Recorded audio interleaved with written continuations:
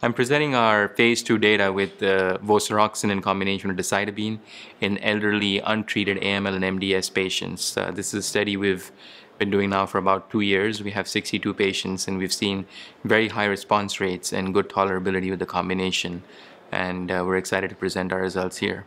Okay, and just as a bit of background, could you maybe give us some description of the overlap between MDS and ALL?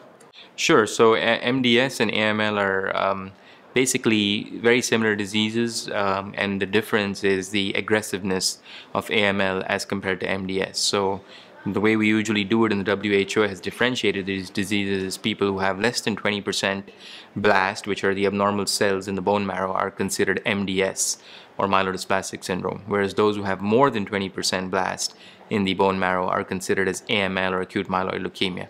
So it really is a similar disease process, um, but just when it becomes more aggressive, we say it's gone from MDS to AML. Okay. And the treatment that is in question here, can you tell us more about that?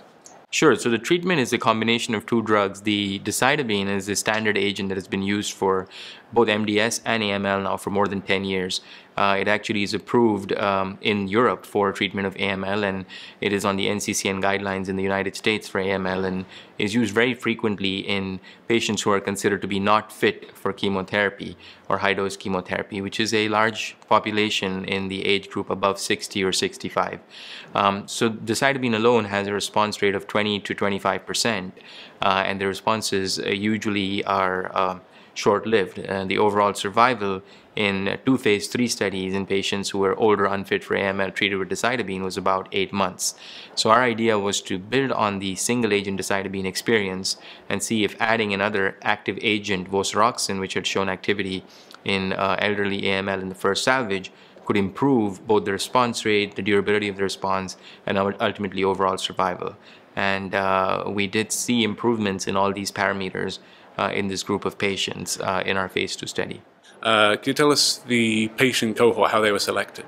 Yep, so the, these were all patients who were uh, above 60 years of age and they had to be considered unfit for standard induction chemotherapy, which is high dose chemotherapy.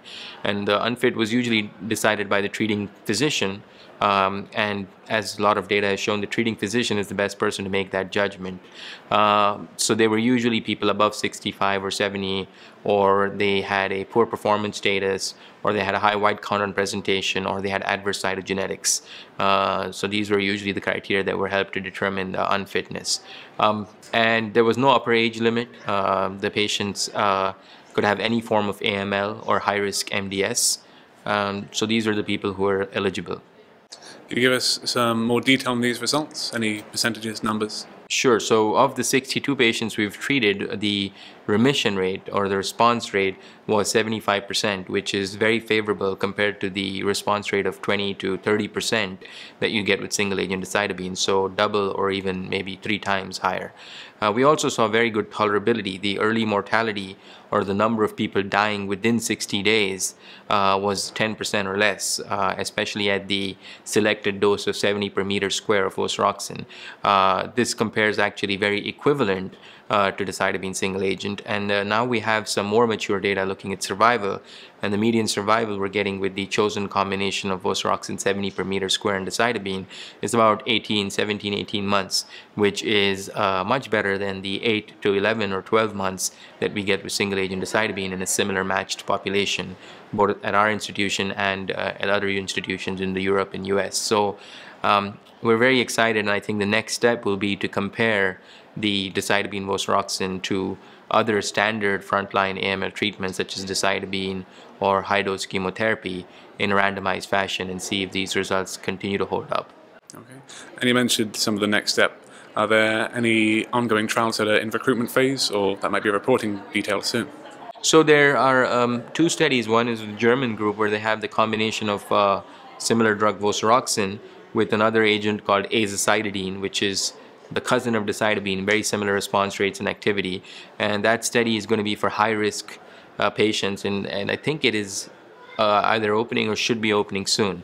And the British group is planning to do a very similar study in the frontline elderly AML patients, randomizing them to the co- our combination of Vosarox and decitabine uh, versus uh, the standard therapy with uh, 3 plus 7 induction.